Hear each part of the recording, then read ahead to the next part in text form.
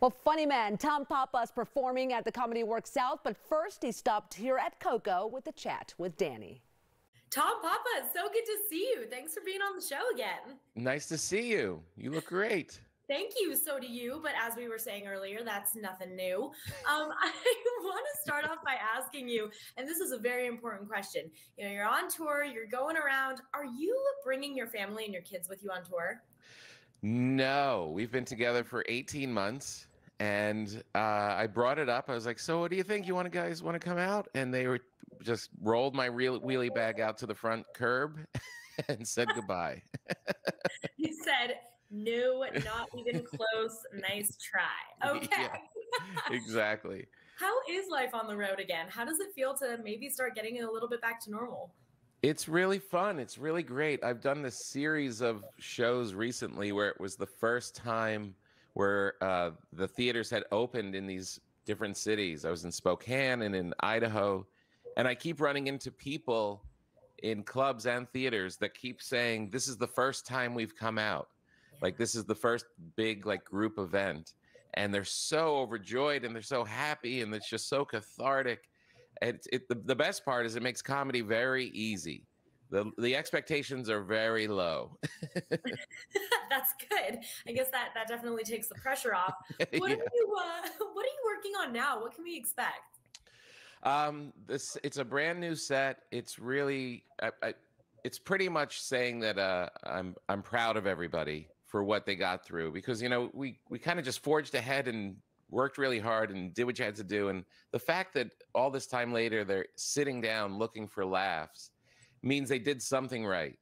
And and now that we've and it wasn't a small thing that you know we kind of because we're so resilient you, we're going to look back and be like well that was a scary big difficult thing and we got through it. And there's really a lot to laugh about about the situation that we find ourselves in now. And but but my stuff isn't like talking about really the pandemic. It's always you know how does that affect your family? How does that affect your life? All that kind of stuff. The biggest star in my set right now is Frank the Pug, who my daughter adopted during the pandemic, and he gave me a good half hour of material. I, I, was going to say I do follow you on Instagram, and I really enjoy your Frank posts because for any viewers at home who have not seen Frank yet, oh my goodness, he's amazing. Do you have like a ton of material and like awesome stuff that Frank has been doing through the pandemic? oh yeah, yeah. I didn't. I, I'm learning a lot about these animals. Like for instance, when they fall in a pool, they sink immediately. It, it turns out if your head's made of concrete you're going to go right to the deep end.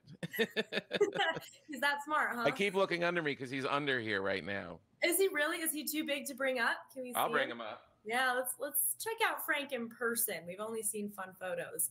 Oh, hi, Frank.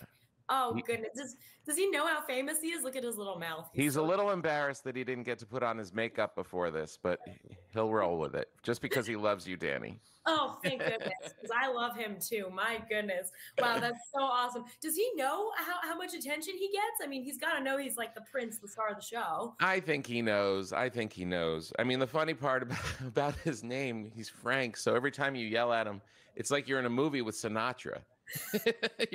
Come on, Frank. What are you doing, Frank? Yeah. Why you why you peeing on that, Frank? Frank, you gotta keep it under control, buddy. but it's really been so much fun. I mean, just touring around, seeing all these people. A lot of times, the people have held on to tickets for almost two years. You know, they bought them when my tour was about to kick off after my Netflix special hit, and they've literally been hanging on to these tickets, waiting for two years. And the reception is just so great. And I do a meet and greet, but from a little distance, you know, because my book came out. So I'm up like, I sign it and then toss it to them. but we're getting closer. We're getting closer. Exactly. Oh gosh, I love it. You got that Peyton Manning like arm throw. right. Tossing books okay. all over. yes. Well, Tom, hey, it's always so great to see you. I'm so honored to have met Frank this time. I just I'm overjoyed. I need to get like a paw print autograph. all right. Slide into Frank's DMs and you'll you'll start a relationship with him. I will. I will. Best friends. Thanks, Tom. Good to see you. All right. Thank you so much. It's the one and only Tom Papa live and in person at the Comedy Works South, October 15th and 16th. Learn more about showtimes and get tickets online right now, comedyworks.com.